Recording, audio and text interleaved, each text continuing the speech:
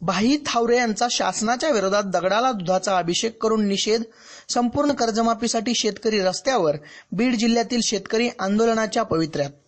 हे शासन कायम शेतकऱ्यांना अडचणीत आणत आहे. त्याच्या निषेधार्थ काल शेतकरी नेते भाई गंगाभीषण थावरे यांनी दगडाला दुधाचा अभिषेक घालून या शासनाचा जाहीर निषेध केला. जेव्हापासून भाजपचे शासन आले आहे तेव्हापासून संपूर्ण शेतकरी या लोकांनी देशोधडीला लावला आहे. शेतीमालाचे भाव आज कवडीमोल झाले आहेत. पेट्रोल डिझेल आणि खाद्यतेलाचे भाव पार गगनाला गेले आहेत. व्यापाऱ्यांच्या मालाला भाव द्यायचा आणि शेतकऱ्याच्या तूर कापूस सोयाबीन हरभरा ऊस व दुधाला हमी भावापेक्षा कमीने दाम द्यायचे. हे चालणार नाही. शेतकऱ्यांना विनाआट संपूर्ण कर्जमाफी मिळाली पाहिजे ही आमची मागणी आहे.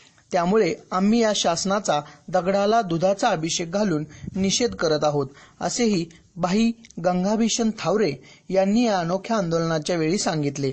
हे आंदोलन काल दिनांक तीन रोजी शहरातील डॉक्टर बाबासाहेब आंबेडकर चौकात दुपारी बारा वाजता संपन्न झाले. यावेळी त्यांच्या समवेत शेतकरी हजर होते. विष्णू उगले जनता न्यूज माजलगाव.